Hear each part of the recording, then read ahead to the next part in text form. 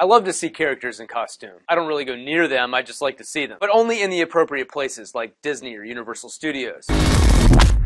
But as for characters in public locales, the sketch factor definitely goes up a bit. There's something not quite right about a character wandering around alone, far away from their home turf. Picture Times Square, the iconic vortex of lights and entertainment, for the most part, a family spot. Now picture this. Cookie Monster shoving a kid and cussing at the mom because she didn't tip him fast enough. Super Mario groping a woman. Cute little Fuzzy Elmo ranting anti-Semitism. Spider-Man punching a woman in the face. Even our good pal Woody just turning around and peeing in a corner. So many characters have been arrested that the city has considered regulating the Rumpus and cartoon inhabitants because they have become such a huge nuisance. On a recent Saturday night in Times Square, security cameras picked up 52 characters roaming around at the same time. In the end, the kids dig it and it dupes the parents into coughing it up every single time. But with no regulation and pure anonymity, it is getting crowded and ugly. So what do you think about the situation? Would you say it's time to regulate the sketch so they can weed out the wicked? Another sketchy character we should be wary of is this little piggy Kim Jong-un. North Korea is definitely our nuisance lately, check out this video to see what's been going on over there. Now head on over to our channel for lots more videos. Watch, like, share, and subscribe to One Minute News for new videos Monday through Friday.